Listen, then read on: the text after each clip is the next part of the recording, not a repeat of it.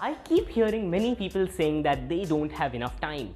Okay, so not, not only you know like even I used to say it sometimes, but not anymore. And in my school, uh, know my fellow my fellow friends, uh, people in Instagram, online, whoever I meet, people keep saying they're not able to achieve great things because they don't have enough time. My friend, he wants to start a YouTube channel, he wants to grow his YouTube channel, but the only excuse he comes up with that he doesn't have enough time to make those videos.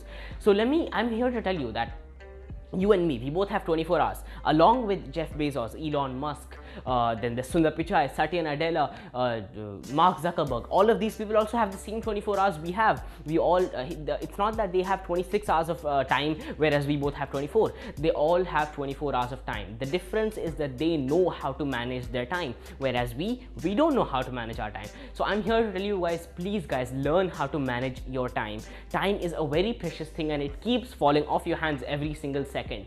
Imagine this, a minute you wasted, uh, um, you know, when you say that okay i need to study right now but you're like okay let me just you know scroll instagram for five minutes. Those five minutes have been deducted from your life immediately. So guys please manage your time properly and uh, use your time wisely. Thank you so much for watching